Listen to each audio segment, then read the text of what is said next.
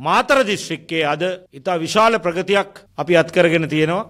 අපි හැමදාම කියන විදියට මිනිස්සුත් එක්ක දේශපාලනය කරන දේශපාලන එකමුතුවක් හැටියට සර්වජන බලය අද මාතර දිස්ත්‍රික්කයේ ඒ සියලුම ජනතාව ඉන්න ජනතාවගේ ආදරය දිනාගත්ත පිරිස් අපි සමඟ එකතු වෙනවා සර්වජන බලයේ දේශපාලන ආගමනය අනිවාර්යෙන් ඊළඟට කරන සැබෑ වෙනස ඒ ජනතාව අපේක්ෂා කරපු වෙනස මේ මැතිවරණයෙන් පස්සේ අපිට පොළොවේ සන්ටුහන් කිරීමට හැකිවනු ඇතැයි කිය. මේක මහා දළුලාගෙන වෘක්ෂයක් බවට පත්වමින් තියෙන වෙලාවේ මේ මහමැතිවරණය අපි පාවිච්චි කරන්නේ පායමාර්ග සැලස්ම ප්‍රායෝගිකව ක්‍රියාත්මක කරන්නේ කොහොමද කියන කාරණාව ජනතා හමුවේ තියන්න. ලාංකීය දේශපාලනයේ වේගයෙන්ම දියුණු වෙච්ච වේගයෙන්ම සංවර්ධනය වෙච්ච වේගයෙන්ම මිනිස්සු එකතු වෙන කඳවුර බවට පත් වෙලා තියෙන්නේ සාඩ ජන බලය අපේ දේශපාලන කඳවුර. බලයේ ඉන්න ජාත් ජන බලවේගය ඔවුන්ගේ දැන් තුන්දෙනා පාර්ලිමේන්තුවේදී වැඩි වෙලා ඔවුන් ආණ්ඩුවක් හදලා ජනාධිපති අගමැති ඇමතිකම් අරගෙන ඒ වැඩ ක්‍රියාත්මක කරගෙන යනකොට ඔවුන්ට මතක් කරලා දෙන්න වෙනවා ඔවුන් ඉදිරිපත් කරපු පොරොන්දු ක්‍රියාත්මක කරන්න අමතක කරවතින් අමතක මතක් කරවන්න සහ ඒවාට එරෙහිව වෙනත් දේවල් ක්‍රියාත්මක කරවතින් ඒවාට එරෙහිව